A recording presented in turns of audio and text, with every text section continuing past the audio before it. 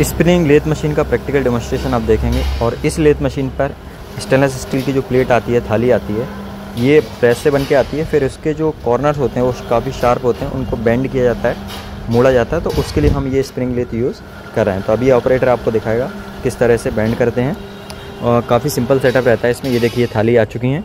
अब इनको यहाँ पर लगाएँगे, मोल्ड होता है सांचा, जिसके ऊपर, और पीछे से इसमें पुश करते हैं एक टेलीस्टॉक वाला पार्ट है। और प्रेस करते हैं। फिर इसमें टूल की जगह भी एक डाई जैसा लगा रहता है जो कि उसको बेंड करता है और फोल्ड करता है। तो देखिए, यहाँ से ये टेलीस्टॉक वाला हिस्सा है। इसमें आगे एक प्लेट लगी रहती है जो कि पीस को या प्लेट को सपोर्ट कर रही है। और इसमें कैरेज नहीं होता है ऐसी ऐसी लेथ मशीन में। इसमें सिंपल जो भी आपका टूल होता है उसको मूव कराने के लिए स्क्रू लगे होते हैं, जिसको मैनुअली आप मूव कराते हैं। यहाँ पर ऑपरेटर की स्किल काफ़ी इंपॉर्टेंट रोल प्ले करती है। और इसमें कोई भी टूल का मूवमेंट ऑटोमेटिक नहीं होता है वो आपको हाथ से ही कराना पड़ता है। देखिए ऑपरेटर कंटिन्यू से लगा रहा है, फिर टूल का मूवमेंट कर रहा है हाथ से मैनुअली हैंड व्हील घुमा के। ये देखिए, आप यहाँ पे थोड़ा सा और अच्छे से देख सकते हैं।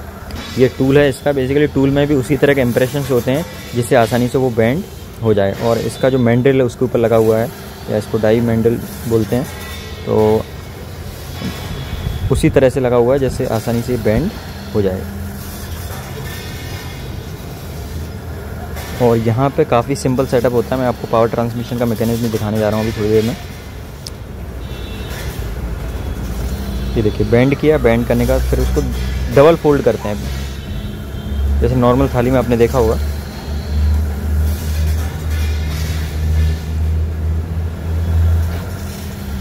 ये आप पूरा देख सकते हैं। यहाँ पे स्पिंडल है स्पिंडल के ऊपर ये डायरेक्ट मैंडल जैसा लगा रहता है, डाई लगी रहती है। और मोटर है, मोटर से डायरेक्ट पावर इसमें ऊपर ट्रांसमिट करते हैं स्पिंडल में और स्पिंडल को सपोर्ट करने के लिए पेडेस्टल बियरिंग लगाए दोनों तरफ़ और एक फ्लाई व्हील जैसा लगा रहता है।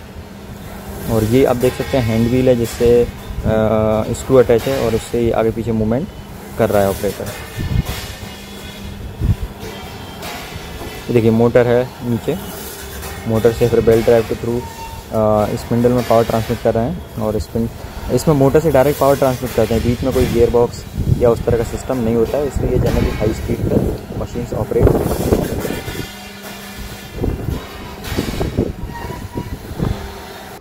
देखिए सो आई होप आपको एक प्रैक्टिकल एक्सपोजर मिला होगा इसमें।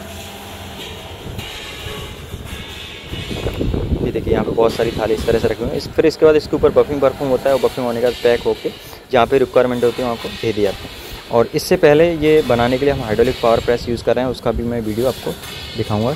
ये जो प्लेट है बेसिकली स्टेनलेस स्टील की शीट आती है, फिर शीट को इस प्लेट के फॉर्म में चेंज कर देते हैं और चेंज करने के लिए यहाँ पर हाइड्रोलिक प्रेस यूज़ कर रहे थे थैंक यू